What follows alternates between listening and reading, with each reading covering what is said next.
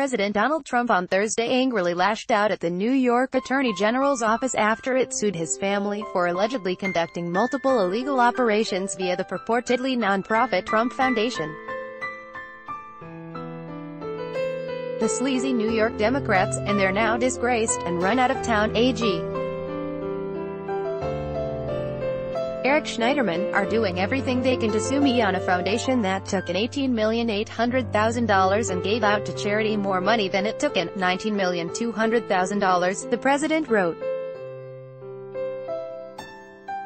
I won't settle this case.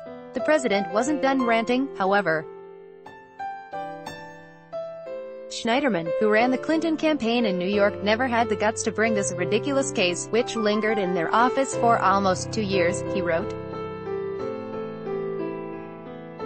Now he resigned his office in disgrace, and his disciples brought it when we would not settle.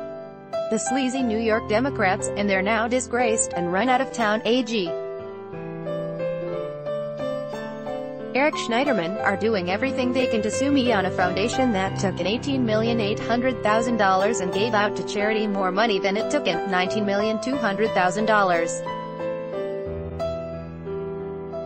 I won't settle this case, Donald J.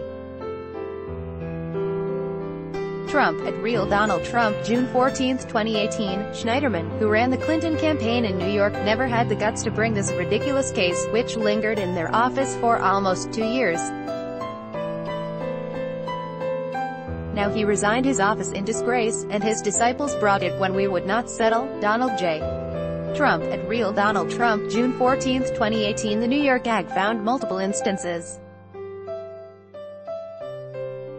of alleged self-dealing within the Trump Foundation, as Trump signed off on using charity money to pay off lawsuits against his businesses, and even to buy a $10,000 portrait of himself.